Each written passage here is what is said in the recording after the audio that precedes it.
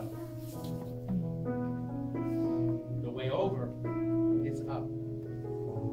Isaiah chapter 2 came to me and it says, The glory of the Lord is found at the top of the mountain, and it will be established.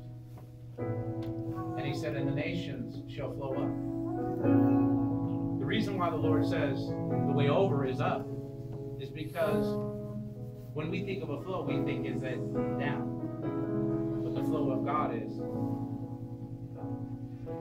what God is saying is, I'm going to bring a new flow, a new movement in, by, and through you. And this flow is going to take you up.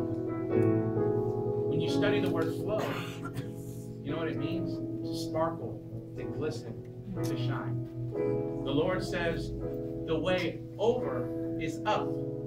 God says, when you allow me to shine, even in the midst the darkest of nights, when you allow me to shine in the difficult place, when you allow me to sparkle and be radiant before others, it's a sign that I brought you. He says, I am lifting you up by adding strength to you. For you thought you couldn't, today you know you will.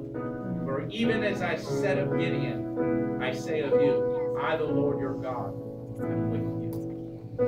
brand new day and a brand new season for your whole house.